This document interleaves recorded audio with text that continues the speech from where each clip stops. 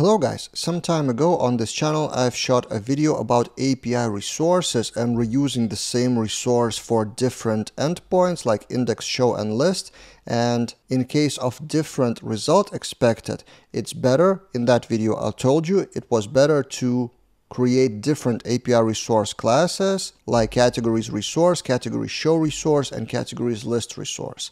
Follow up on this video is this one right here based on your comments and on general knowledge, I try to go the other way. So for example, if you have category resource reused in three endpoints, but you have a problem that in different endpoints you need slightly different results. So for example, for the list of categories, you need ID name and shortened description.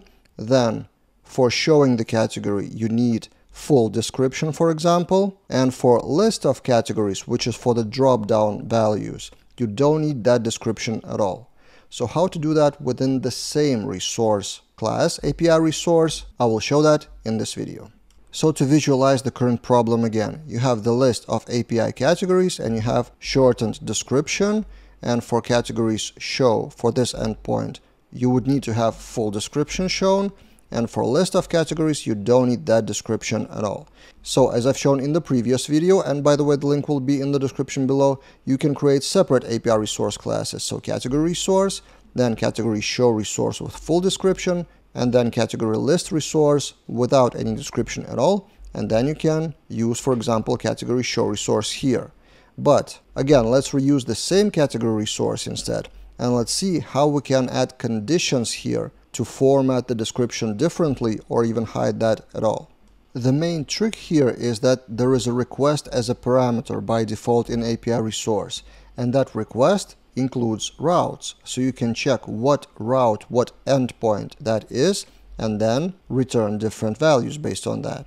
So for example we can do request route is and then some pattern like for example categories dot star would correspond to any route of typical route resource controller, like categories.index, categories.store, and others. And in our case, in Routes API, we have API resource for the categories, except for the lists. So there is a separate API endpoint, lists categories, which doesn't even have its own name. So that would be a different scenario in request route is.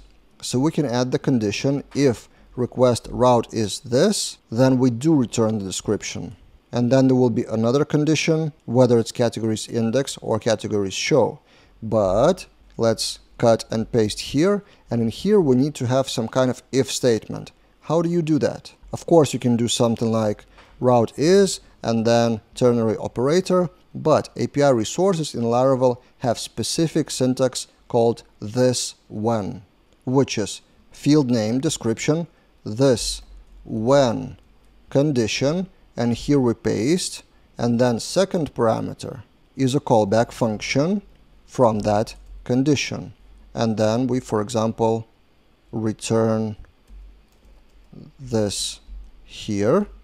So we return the description only if the route is this and that would be step one. Let's try it out. So now if we relaunch from the postman the api slash categories the result doesn't change. API categories show, the result doesn't change. But if we have lists, we refresh and description is gone. So this endpoint doesn't have route name of categories dot asterisk this. So that's the first when statement and then inside of this function we can use another when statement in this case a typical if statement or a ternary operator so for example let's do that with if request and we don't have that request inside of that callback function. This is important. We need to pass that with use request here.